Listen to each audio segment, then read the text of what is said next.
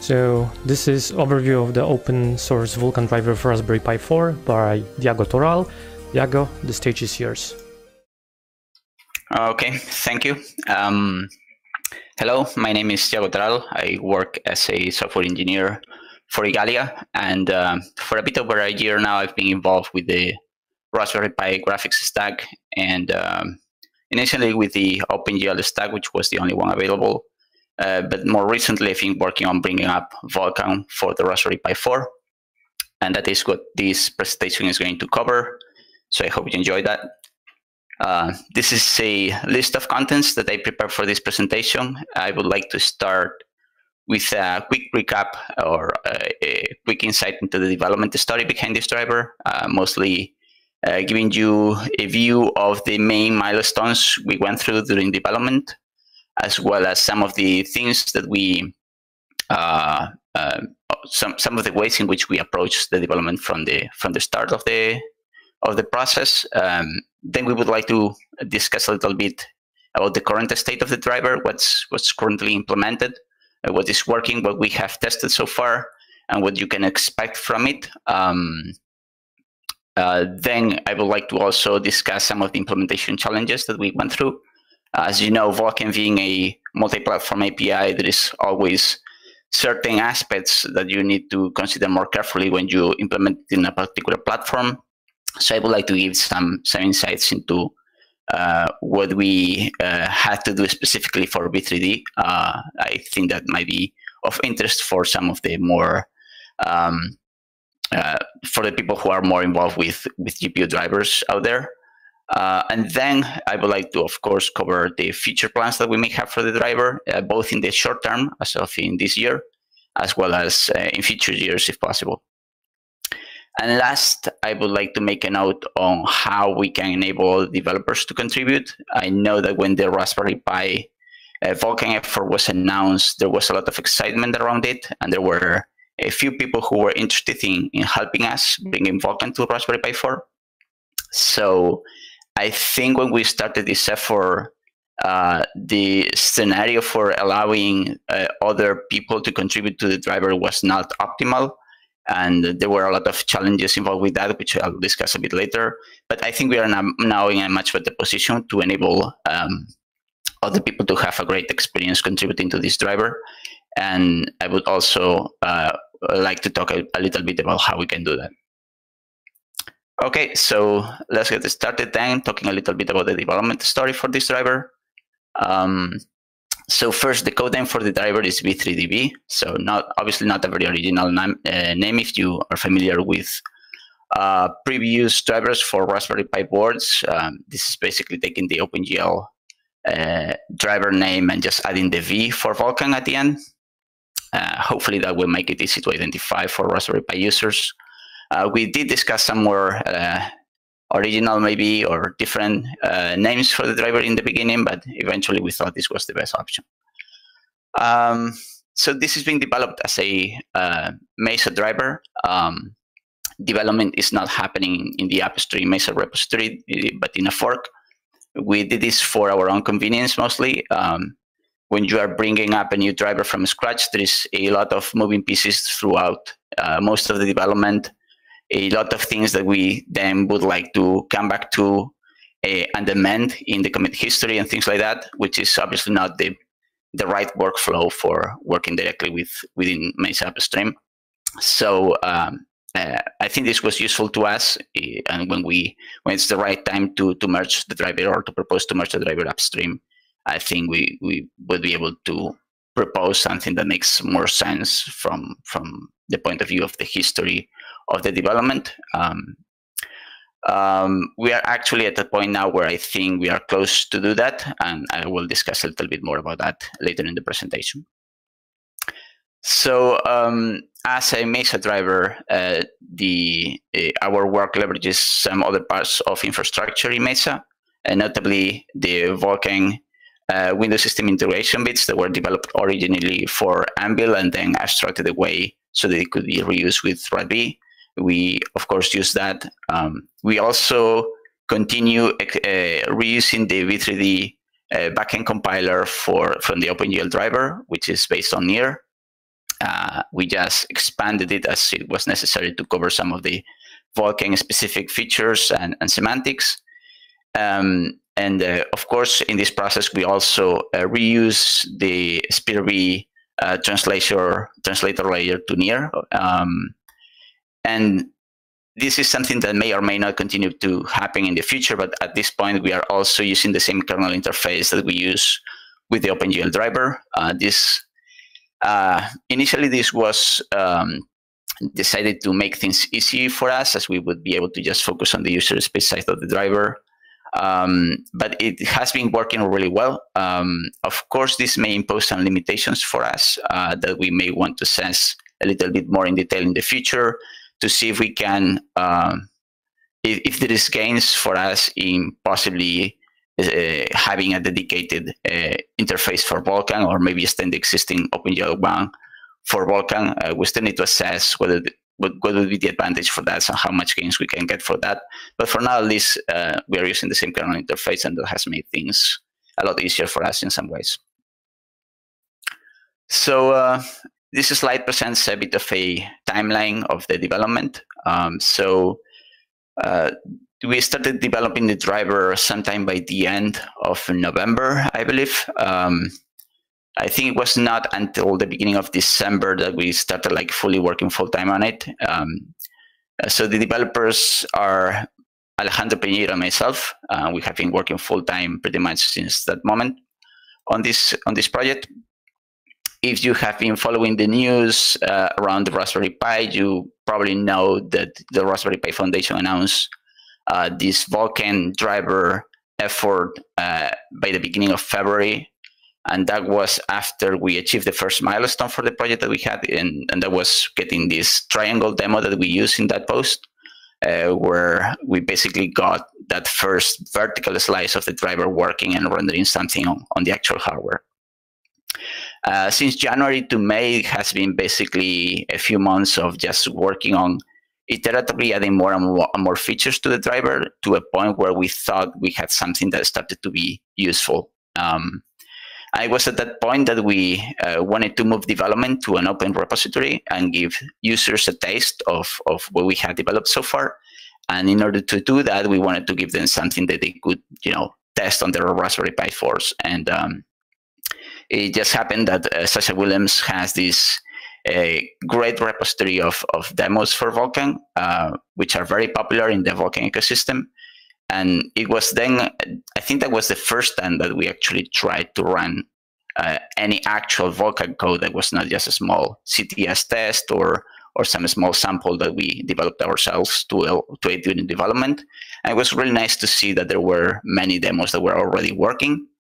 Uh, so we used that to to go ahead with moving to an open repository and give uh, people access to the to the to the driver code and, and point them to this demo so they, could, they could just play a little bit with the driver.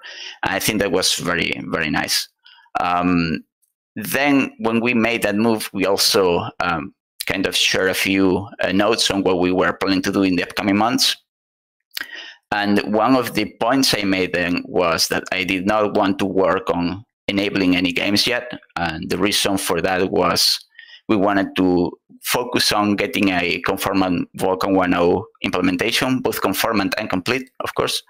Um, and because, you know, um, if you start trying to figure out why a game doesn't work or doesn't render correctly too early, you are just going to have a very hard time. Uh, it's a lot easier to just fix most as most bugs as you can just by uh, fixing more self-contained CTS test. Um, I thought that that was the the right thing to do, and I still think.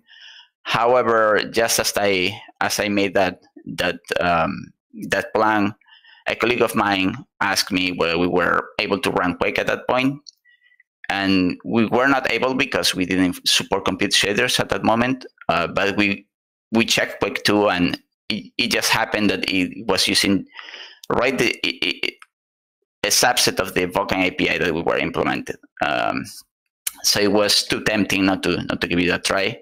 And when I did, I, I found that it, it, was not working. It, it, actually not it didn't even start. It just hung the GPU, which was very frustrating to be honest. Um, so I decided it was maybe worth my while to spend a few weeks trying to uh, get it to work to understand what was going on. Um, since at, at, at, the end of the day, it was using features that we were supposed to work. Um, we did that for VK 2, and then in parallel, we were continuing developing features for things, including compute shaders, so that also enabled us to run Quake. Uh, and then we also saw that we were able to run Quake 3, but it required a couple of optional features that we also implemented.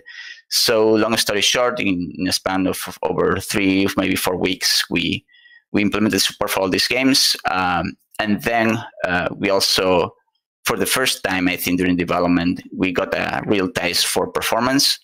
Um, and we found that it wasn't really good at that point. Uh, not unexpectedly, though, because we knew we were not taking care of some of the basic performance enablement in the driver uh, up to that point. So we used that opportunity to do that, and and we got all the games to run very smoothly on, on the Pi 4. Um, and then from that point uh, onwards, I thought I th- we just focused on getting the remaining set of features to to work. I think we uh, achieved that by August. Uh, by the end of August, I think we finished with multi-sampling and, and robust buffer access, which I think were the only ones that were missing at that point. And I think at this point we have a, a minimal Vulkan 1.0 implementation uh, running, and um, we are focusing on on getting better pass rate on, on CTS. Okay, so as I said before, our first milestone was to get something to run on hardware. For us, this was very important. We didn't want to start building a lot of infrastructure for the driver and then have problems to actually get to to uh, get basic things working. Um, so as you know, when you're bringing up a new driver from scratch, there is a lot of pieces of pieces that need to work together correctly for you to be able to put pixels on the screen. We needed to, or we wanted to prioritize getting that that done right. So that kind of vertical slice of the driver working. And then once we got that in January, we moved on to just a more iterative uh, feature development where we would just choose something that was not implemented yet and we would implement that in the driver. And the idea with this was to use uh, the Vulkan conformance test suite that Khronos developed to, to guide our uh, development efforts. Uh, so basically, this, for those of you who don't know, this is a huge uh, test suite that has hundreds of thousands of tests for testing everything that can that has to do with Vulkan. And um, this is used for conformance, uh, but also it's very useful for developing drivers, right? As it gives you the sample test that you need to uh, check your, your own feature development as you as you uh, bring them into your driver. Um, so of course there is some time before between the moment in which you get that first triangle and the moment in which you are ready to start running CTS tests, because the CTS assumes that you have a a full driver at the end of the day, and every test assumes that certain functionality is there. And so you have to make sure that you have at least these fundamental uh, pieces of, of functionality in your driver to start enabling CTS coverage. Uh, but once you get there, um, you you can just start using CTS to test everything that you do, and that was very very useful to us. Uh, the other nice thing about this process is that at the same time we had other people at Igalia who was working on improving the CTS coverage, and we were in an excellent position as uh, as we were developing this new driver to identify things where the CTS coverage was not great, uh, particularly for our platform. Uh, so we had this nice ongoing discussion with this other team at Igalia where we could just tell them, okay, for this particular feature that we have implemented, we are seeing the CTS coverage might be missing something here. Uh, and, and this ended up improving the CTS coverage over time as our, our colleagues would then go and, and, implement new tests for this, which I think was, was really nice. So um, another thing that we did during development, uh, we were very worried about uh, regression testing. Um, but here we wanted to sort of try to strike a good balance between um, um, having good coverage uh, to prevent any regressions, but at the same time having something that didn't take too long to execute because we didn't we did want to be able to run these uh, very frequently, even multiple times a day, as we made progress with, with development. So we use parallel dEQP runner for this because it allows us to run multiple tests in parallel, as you probably know. Uh, and the other thing that we did is that we, as we were growing our feature set, we would select a, a, subset of the CTS tests that we were passing with each new feature development that we added to the to the driver, and and just select a subset that we thought was meaningful to check um, uh, for regressions, but at the same time that it wasn't too large to uh, have a huge uh, execution penalty. Uh, and to give you a, a, sense for what we settled with, right now we are passing about a bit over 100,000 tests uh, of the CTS, and we're using about 10% of that for this subset that we use for regression testing. And this has, has been working really great for us. We can run these tests very quickly every day, and we have got like maybe 95% of our regressions during development with this system. Uh, of course, as, as our uh, driver progressed and got more mature, we were also able to start running the full CTS. The running times got shorter, and also uh, they were stable enough because when you have a half-developed driver, you can easily run into all sorts of troubles, uh, including GPU hangs. So you don't want that, right? But as we mature, we started to do this as well and catch any regressions that were not caught previously by this uh, subset regression testing that we had. But as I said, this was rarely the case that we that we ran into problems. Uh, another thing that we did that I think was useful was to, this kind of assert everywhere philosophy that we had. Uh, so this was not just for uh, preconditions on, on the, the Vulkan API states explicitly, but also for things that we assumed during development, things that we knew were not completely implemented, uh, paths that were not existing, were not like everything we would assert there, uh, with the idea that uh, at any point, any test, anything that we tested that uh, would hit something that we knew in advance was not fully there, uh, would assert and crash early rather than maybe continue through it and lead to a GPU hang or some other obscure incorrect rendering or, or failing test that would be much more difficult to then track down uh, to the real problem. We got a lot of things with this, even for uh, CTS, when we were running CTS, we would find that we were running CTS tests to test a specific feature, and some of them maybe would crash early because they were using a feature we were not aware of they needed. Um, and it's very nice to just see a crash immediately telling you that the crashes because of that, and, and, and you don't have to go in and see what the hell is going on. Uh, and the other thing that we did, uh, especially during the last uh, few months of the development, was to try to keep people updated on the progress through developer developer blog posts. I guess some of you may have seen us um, doing that. Uh, I think it's a nice way to keep people informed about progress. All right, so um, moving on and uh, to describing the current state of the driver. So as I already said, we think that we are now at the point where we have a, a minimal Vulkan 1.0 implementation. Uh, Vulkan comes with a lot of optional features. We do implement a bunch of these, but we have tried not to, to go overboard. So there are a lot of optional features that I think we want to implement that are not there uh, just yet. Um, then there is, of course, a lot of uh, extensions uh, on top of Vulkan 1.0 that we have not implemented that we probably should. Um, um, but at least we have this Vulkan 1.0 uh, minimal feature set there, uh, I believe. Um, our focus right now, as I said, is um, getting all those CTS tests to pass. Right now, we are passing around 110,000 tests, and we only have 20 test fails right now. So we are actually pretty close to to to be conformant. Uh, so I hope we can start moving uh, things for that real soon. Uh, we haven't done much real world testing with the driver yet. We have been mostly uh, testing through uh, the driver with CTS tests and some samples that we grab now and then. Uh, the only real testing we did was with the Quake games, as I mentioned before. we know that they, all the uh, three classic games for Quake are, are running. Uh, we also know that some people have been playing Open Arena, which is based on the Quake 3 uh, engine. Uh, and we got news back in July, I think, from um, uh, Salva from the Raspberry Pi Labs, who is has this channel where he does extensive testing of a lot of games on, on the Pi and also the boards and he tested the Vulkan, our Vulkan driver with some uh, PSP Vulkan emulator, and he reported that he had some games working already there, which was it's very encouraging when you are uh, in the middle of developing something and your head's down working on, on features to have someone telling you, hey, I'm testing this and I, this is already working. Um, that was really nice to hear.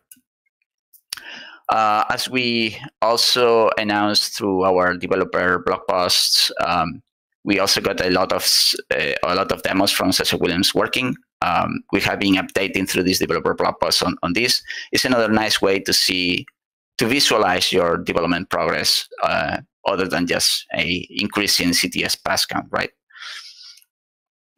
Uh, regarding performance, uh, we haven't done much yet, as I said. Uh, mostly the only performance work that we did was for the, for to get the, the Quake games running smoothly. Um, we can say though that VK Quake 3 in particular has a both a Vulkan and a GL renderer, and the Vulkan render is much faster, which is uh, very encouraging.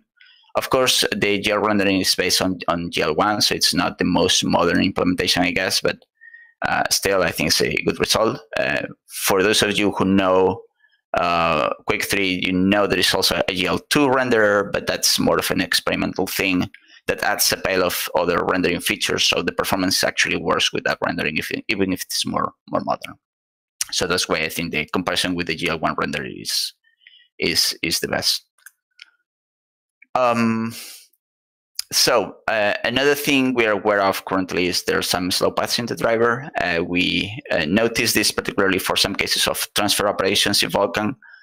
Um, in fact, this was one of the things we worked on to improve the the uh, the various Quake games when we work on that. But I think there is still ways for us to keep improving this. I think we should be going doing more of that going forward. Another thing is the, the hardware has this um, TFU unit, which is used to uh, basically convert and copy images around, uh, which we think we could probably use better in some areas. Um, unfortunately, uh, Vulkan um, uh, allows um, allows developers to do suballocation, which of course is a very nice technique for developers, but it's just something that doesn't work very well with our TFU unit because it allows basically suballocation means that you can create an image and, and then you can suballocate parts of that image to smaller images. So you have this mega texture that and you then use the memory for that mega texture to hold multiple smaller uh, images as, as, a way to kind of do your own uh, memory management. Um, and then you allow to uh, these smaller individual images to be copied, removed, added in different places uh, within that mega texture. And that's something that doesn't really work very well with our TFU unit because it requires, it, it only works with full images, basically. Uh, but still, I think there is there's room uh, for us to, to make better use of that in some cases. Okay, so now moving on to uh, implementation challenges. Um, so these are kind of a collection of a few things that we had to be a bit more careful with when when running when bringing Vulkan to V3D. Um, uh, so one of them is, of course, Vulkan expects that everything that you do is going to execute in the GPU. Um, the idea is that you have this command buffer in which you record all, all your rendering commands. Then you submit that to a GPU queue and then when that's done, it will signal the GPU will signal uh, your your host CPU uh, using um, uh, fences, for example. Um, and all this works really well for us as well, of course. Uh, but there are very few selected cases where uh, there were specific things that we needed to do in the CPU uh, because our GPU just didn't work like that off the top of my head, I remember the case, for example, for occlusion queries. So when you want to get the result from an occlusion query, uh, the Vulkan API allows you to just record a command into the command buffer where the GPU just writes the result of the query into a buffer that you can then access from the host of the GPU. And uh, in our case, it, it, just doesn't work like that. So the only way I think that we have to read the result of an occlusion query right now is to just uh, map the buffer, read the result, and then copy it in the CPU. Um, this is in fact what the what the OpenGL driver does. Um, so what this means is that for us, we need to kind of break the illusion um, internally that that everything is executed in the GPU and have these internal flashes in these cases to synchronize between the CPU and the GPU, do the CPU part of the of, of the work, and then resume the execution of the uh, command buffer in the GPU, which caused some implementation churn, of course. Uh, but it's, I think, unavoidable, at least in some of the cases that we had this problem. Um, maybe in the future, the, some of these bits we could improve. Uh, I had some ideas for how to maybe make uh, uh, reduce this churn in, in, a few cases, but I think it's maybe not possible to do this in exactly every single scenario. Uh, but as I said, this is just only a very few selected uh, scenarios, and I don't think it's a major cause of concern for us. Um, another thing that we um, have in the Raspberry Pi 4 is a display pipeline that can only handle linear images. Uh, whereas our render pipeline cannot sample or texture from linear images at all. So, um, funnily enough, the um, uh, Windows system bits Mesa for Vulkan assume that any of your swap chain images are going to be images that you can texture for, from by default, but that's not true in our case uh, because of this. Um, so we have to disable that feature uh, on, on, on the Pi 4 for now. Of course, when you are running inside a compositor uh, and inside a window and not your not full screen, you may be able to negotiate a tile layout for your switching images. But I wonder whether that's worth it or not, in the sense that uh, that basically means that when you switch between uh, full screen and window mode, it the underlying capacities and capabilities of your surface are changing as well. I'm not sure if developers that's in a scenario that developers expect, or even if even if it is worth it, because that it would also mean that it would require to do um, to have an alternative implementation if they need to switch back and forth between these two modes. Um, so another thing that is very core to the Vulkan API design is uh, this idea that you have all your pipeline staying available upfront, so to avoid uh, pipeline uh, recompiles uh, at draw time. Uh, and uh, this is a kind of one of the great ways in which Vulkan can improve the user experience. Um, and this works really well as well for us. however, there is uh, there is this one or two cases where we cannot exactly do this um, or not optimally um, because we don't have all the state that we need. Particularly in our platform, we would like to know uh, when a shader uses textures, we would like to know uh, the formats of these textures. Um, and this is something that we don't know un- until we bind the descriptor sets later on, not when, we, when the pipeline is created. Uh, so the way we are dealing with that right now is we decide to precompile a few variants with, with the pipeline. Uh, so we have an optimal case that assumes that we can use a 16-bit return size for all, all the textures that we have, but we also compile a fallback case where we use 32-bit, which is maybe not as optimal, uh, but it is going to be uh, valid in all cases. Um, so uh, then when we actually bind descriptor sets, we choose the one to use based on, on the formats that are actually bound at the time. Uh, of course, we could go uh, further into this strategy and, and, produce all the combinations maybe, uh, and always choose the optimal case, but then we would be creating a lot of shader variants that we maybe not be using at all, and they would use memory.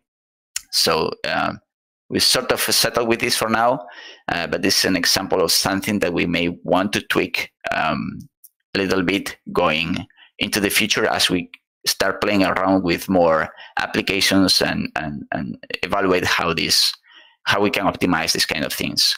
For what it's worth, with the Vulkan uh, with the Vulkan uh, Quake games that we tested, this didn't seem to have any significant performance impact. Maybe we would drop uh, half a frame per second or or maybe one, but not more than that. So we don't think this is a huge thing, but something that we would like to point out.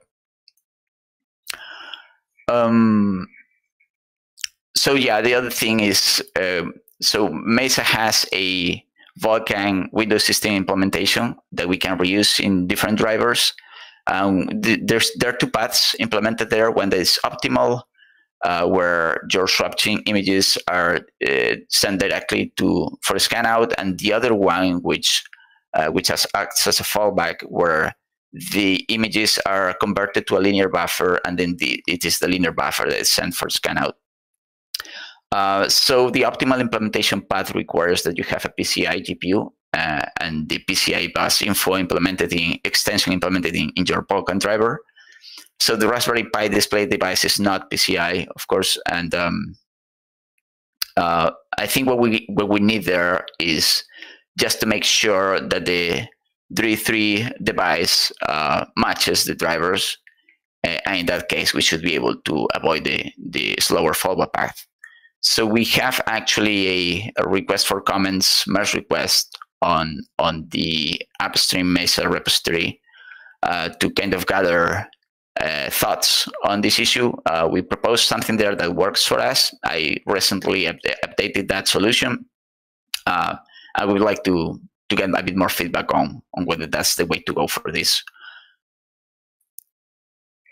Okay, so moving on to uh, future plans.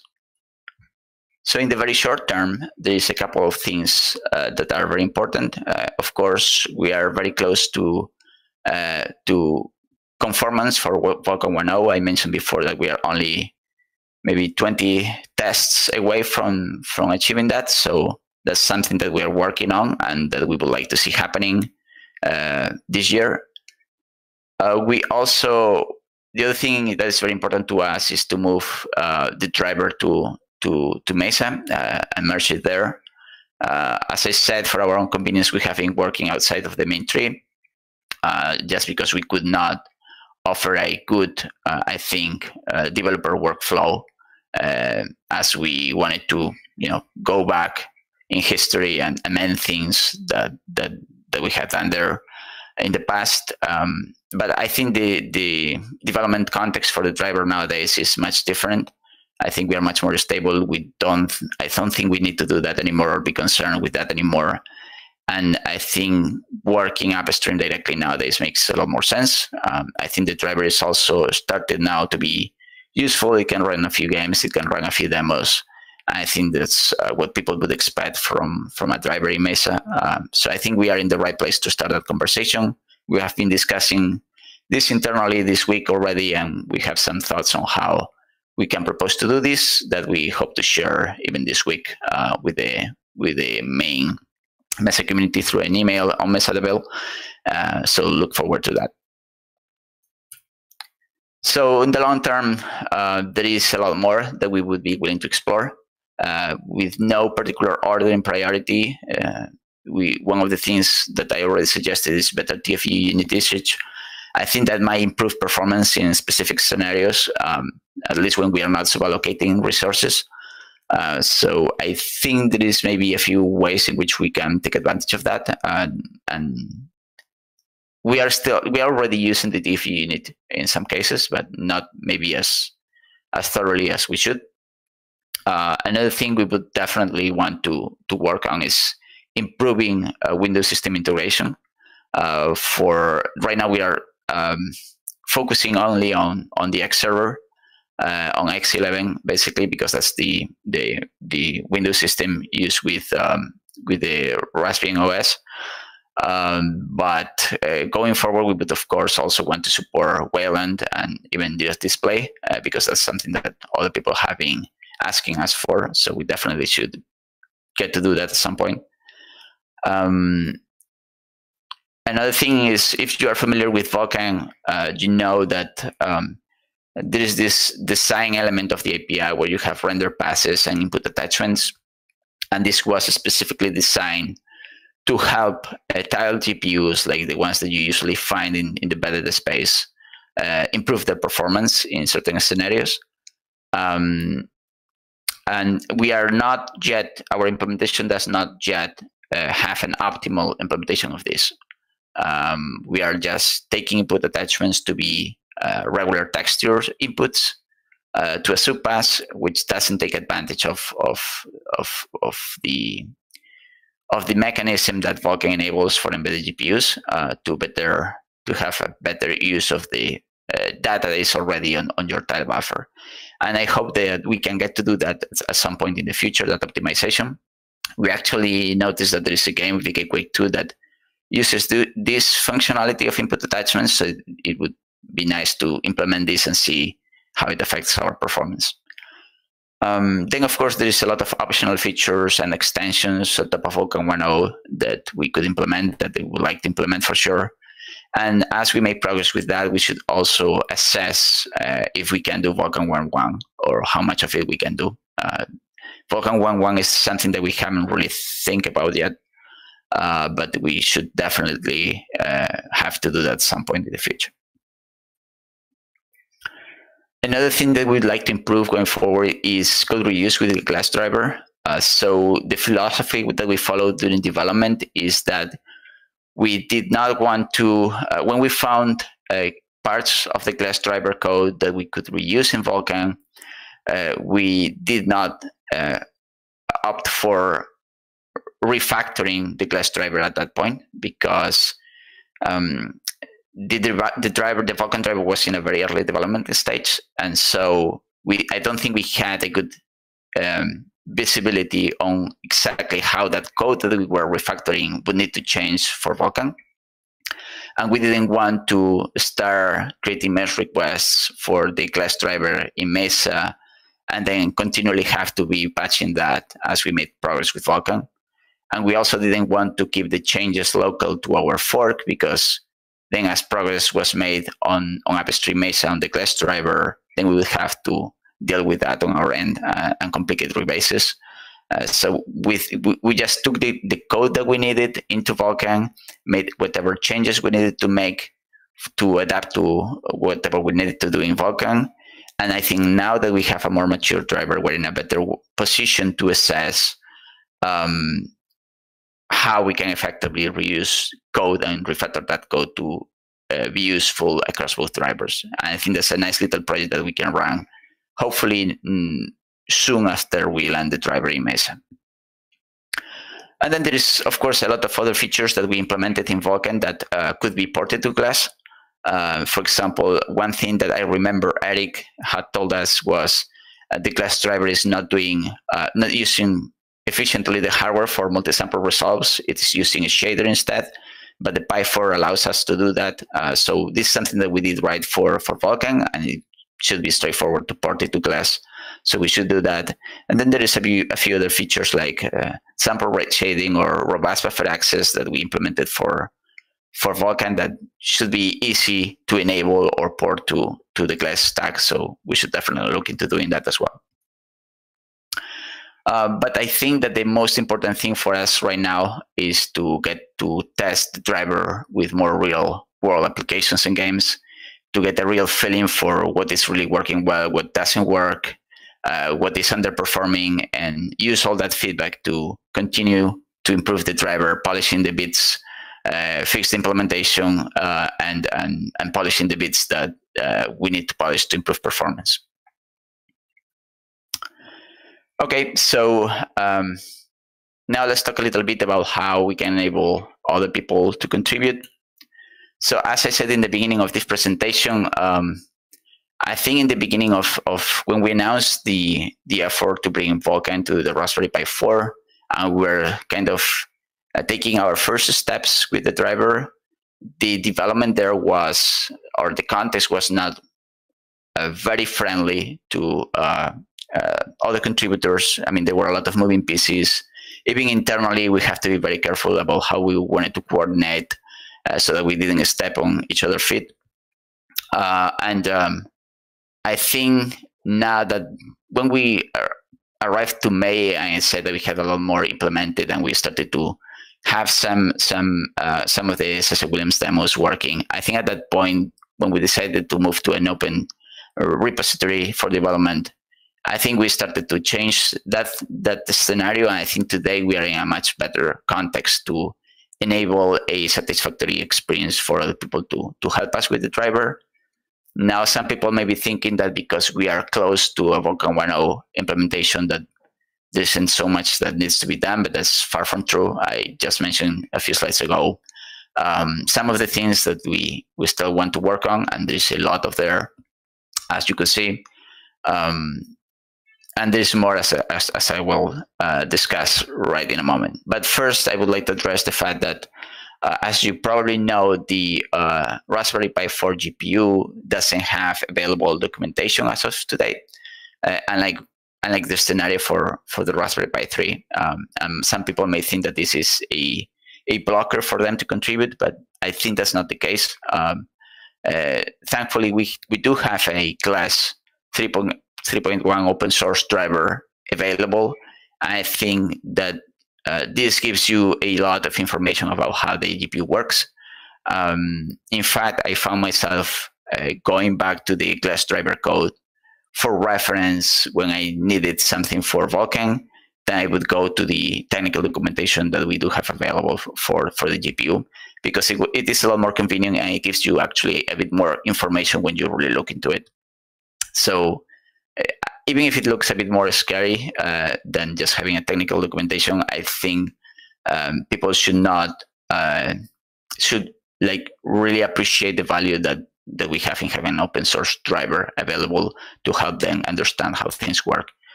Um, and then um, as for how they can get involved, other than some of the things that I already mentioned before, we were when we were developing, we were adding a lot of fixes to the source code um, for a lot of different things, from things that we could do better, uh, things where we could maybe improve performance, things where we could not do better just yet because we would need some other feature that we have not implemented today, um, but that we may implement in the future, and then it would unblock maybe some other optimizations.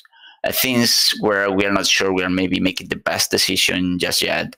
So there's a lot of things there. Um, and anyone can just read the source code and, and try to see if there is something for them. Of course, some of these may be trickier than others. Uh, maybe the full story for them is not so immediately obvious to everyone. So if someone comes across any of these and they want to work on something, I suggest that they just talk to us and we can give them a, all the background required for that, uh, probably. So that at least they, they understand the effort that's required with these things. Um, and then, of course, there are many optional features, as I uh, commented before, uh, that are pending and, and people could work on them. And, and one of the things that we would definitely welcome would be testing and performance feedback. So just just getting the driver, testing uh, some Vulkan games, some Vulkan applications, and letting us know what works, what testing, if the performance is decent or not, and then we can use all that feedback to try to figure out how to improve the driver that is that will be tremendous help to us as well. So if you are interested in, in doing any of this or you just want to ask questions about the driver or anything, here are a few resources. We are hanging out on, on the VideoCore channel at Freenode. So um, just join the channel, talk to us, ask questions. We will be happy to to hear from you. Uh, then we are, of course, on, on Mesa Devel as well. Uh, so you can reach out to us there as well. And we can also interact through GitLab issues. Uh, right now on our own fork where we are developing the driver, uh, but hopefully not very far from now uh, in upstream Mesa directly. Now I have one last slide where I would like to uh, share special thanks to many developers who have directly or indirectly uh, helped us in this process. Um, first, um, the Mesa community for developing NIR not just developing but continuously improving optimizing it and adapting it for vulkan obviously uh, all that work has been super useful to us and we were able to just reuse a lot of it directly in our driver um, making our lives a lot easier. Uh, the SPIR-V translator, translator layer, of course, uh, that's also related to this. The Windows system integration bits that I mentioned before in my presentation, all these things made our lives uh, a lot easier and the development effort uh, smaller than it would have otherwise been. Uh, even when you may think that Vulkan is a low-level uh, implementation and there is less room for for sharing code than in GL, uh, well, that is true. I, I, think there is still relevant stuff that we can reuse in Mesa. I'm, I'm very grateful that the developers did all this work before, so we can leverage that in our driver. Um, then um, even if uh, we have multiple Vulkan drivers in Mesa already, and each one has its own target platform with its own quirks and its own um, requirements, um, I think they were still, uh, despite that they were different platforms, very inspirational and useful to us. Uh, Anvil, RADV, and Turnip, uh, we would usually go to these drivers to have a look at how they solve specific problems, uh, how they implemented specific things, and if they had to uh, attend to the same concerns or, or, or, issues that we have on our platforms. And just having that code available is just great help in general. So I would like to to thank everyone involved with the development development of these drivers explicitly.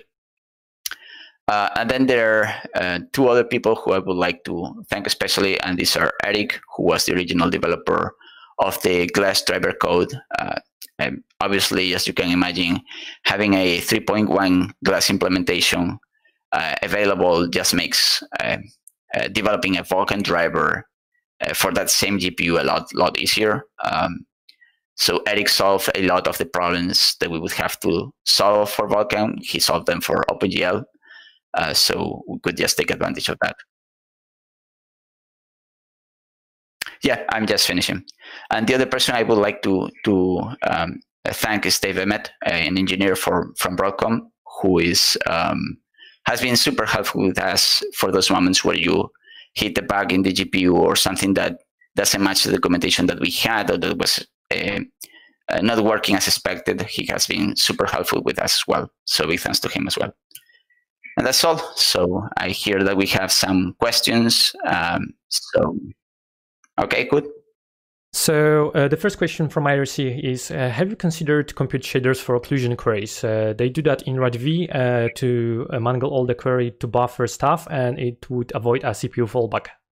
Oh, that's very very interesting. No, actually, I didn't think about that, but yeah, that's that's one thing that we should try. Maybe, yeah. Thank you.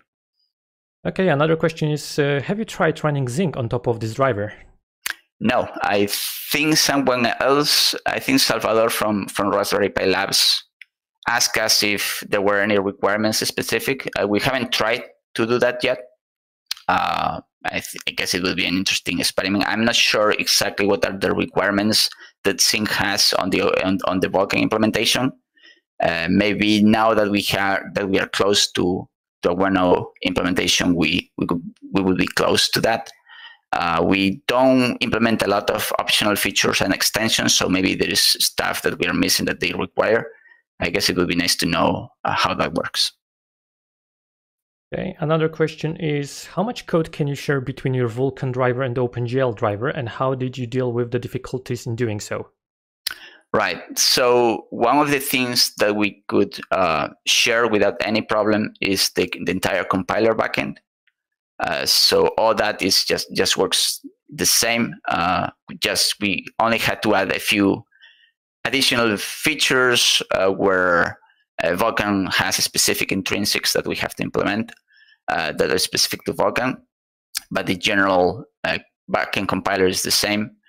Uh, the other things that we can reuse have to do, for example, with image layouting. So when you create an image and you have to decide uh, where in memory each of the maps go, and how big they are, or alignments, and uh, basically the layout of your mip chains and layers, all that we should be able to share, um, for example, and uh, yeah, that, that, kind of thing.